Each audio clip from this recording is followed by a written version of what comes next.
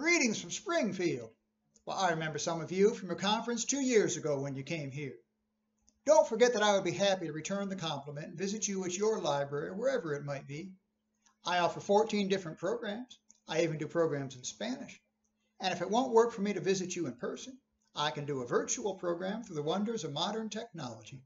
I can do a live event by video conference via Zoom, or live streaming via Facebook Live or YouTube Live. Or if you prefer a pre-recorded video, I can make that available to you via YouTube. If you'd like more information, visit us during the conference or go to my website at www.mrlincoln.com. And now why don't you step inside to see Mary? Welcome. You're just in time for a cup of tea. Isn't it lovely to have a friendly chat like this without the children interrupting or the animals wanting attention? Does that occur in your household as well?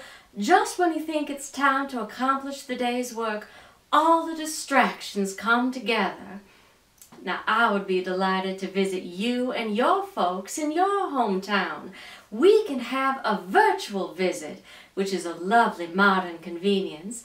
I have a variety of different topics or programs to talk about, five in all, and I'm sure all your folks of any age will enjoy them. For more information, please return during the course of this conference to set up the details of a visit from Mary Lincoln. Or perhaps a few other ladies as well.